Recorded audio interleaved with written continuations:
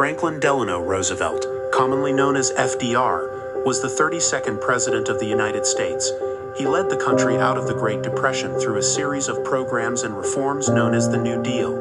FDR was elected to an unprecedented four terms in office from 1933 to 1945. When FDR took office in 1933, the United States was deep in the Great Depression. Nearly 25% of Americans were unemployed and economic activity had drastically declined. As president, FDR immediately worked to restore confidence in the American people. He declared a bank holiday to halt nationwide bank runs and pushed bold legislation through Congress.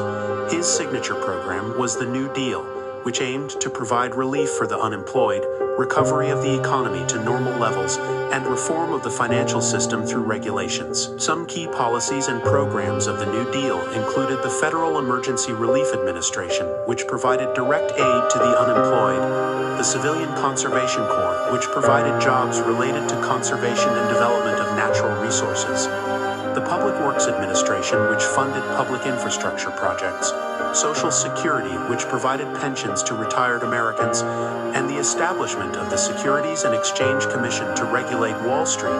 These massive programs helped pump billions of dollars into the economy and put millions of Americans back to work, slowly lifting the country out of depression. FDR's leadership continued to be critical during World War II as well.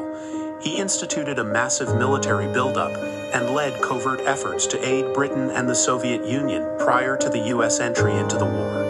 As commander-in-chief after Pearl Harbor, he helped direct Allied military strategy and maintained wartime production. By the time FDR passed away in 1945, near the end of the war in Europe, he had led the nation for over 12 years, implementing sweeping changes to the American economy and role in global affairs.